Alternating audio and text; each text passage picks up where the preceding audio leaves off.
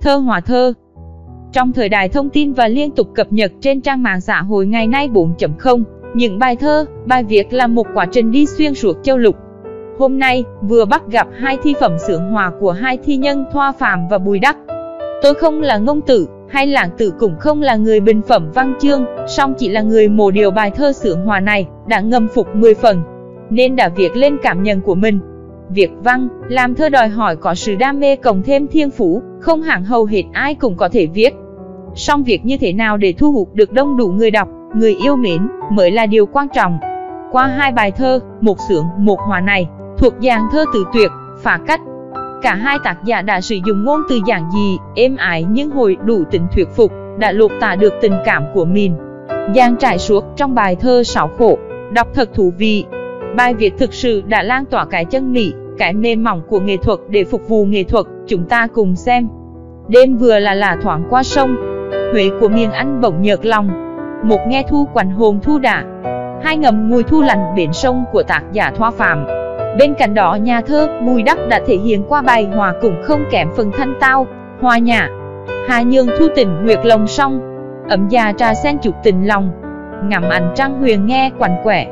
Đại hôn thổn thức trải mênh mông.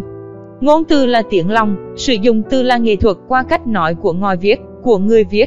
Học giả người Mỹ, Dale Carnegie đã từng nói, sự thành công của một người chỉ phần nhỏ là do trí thức chuyên môn, còn chủ yếu được quyết định bởi nghệ thuật. Ở đây tôi chỉ cảm nhận về nghệ thuật sướng hòa.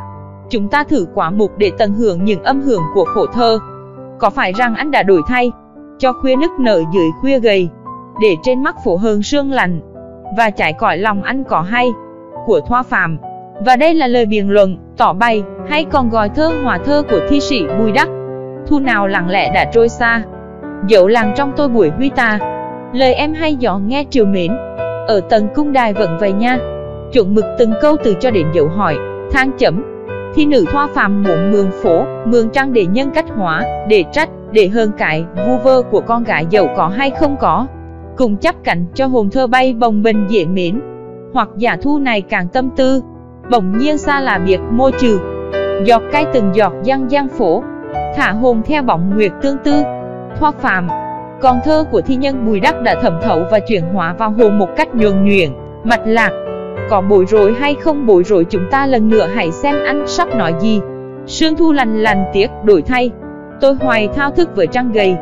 Giờ đây ngồi ngắm miền cô tịch. Nó còn bay bổng hỏi rằng hay.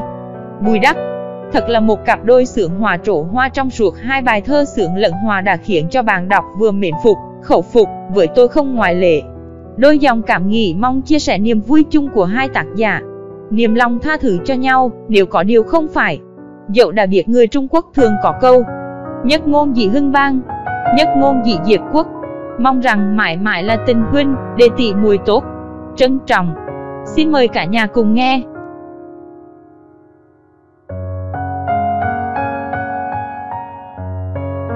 Nguyệt tương tư, Bài sướng Đêm vừa là là thoảng qua sông, Huệ của miền ăn bỗng nhợt lòng.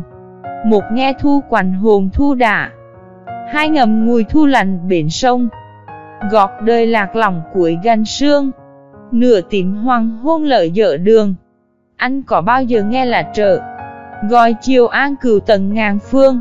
Mãi hừng hơ như chẳng hiểu gì. Khỏi lam chiều phù, buổi chia ly. Thu xưa các bùi mù nhung nhớ. Che khoảng trời yêu tuổi mộng thì, nhiều khi chết lặng ngắm trời xa. Nếu nặng cố kinh sưởi chiều tà, chợt thấy lệch lòng lên đên quá. Tưởng mãi về nhau cử rửa mà. Có phải rằng anh đã đổi thay, cho khuya nức nở dưới khuya gầy? Để trên mắt phủ hờn sương lạnh. Và chạy cõi lòng anh có hay. Hoặc giả thu này càng tâm tư. Bỗng nhiên xa là biệt môi trừ. Giọt cay từng giọt giăng giăng phủ thả hồn theo bóng nguyệt tương tư. Hoàng hôn màu tím, thu tịnh, bài hòa.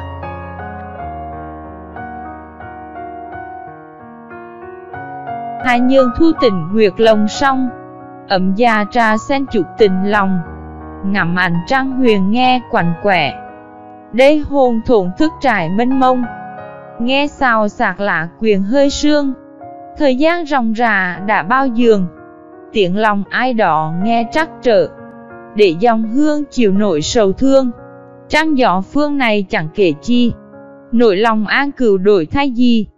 Chiều thu đỏ ngựa xa xăm lắm, một khoảng khắc thôi, mãi thâm thì. Thu nào lặng lẽ đã trôi xa, dẫu lặng trong tôi buổi huy tà. Lời em hay dọ nghe triều mến, ở tầng cung đài vẫn vậy nhá. Sương thu lành lành tiếc đổi thay, tôi hoài thao thức với trăng gầy. Giờ đây ngồi ngắm miền cô tịch, nó còn bay bổng hỏi rằng hay, bùi đắc. Một lần nữa, chân thành cảm ơn hai thi phẩm. Chúc cả nhà Facebook vui vẻ. Người viết, Bục Lương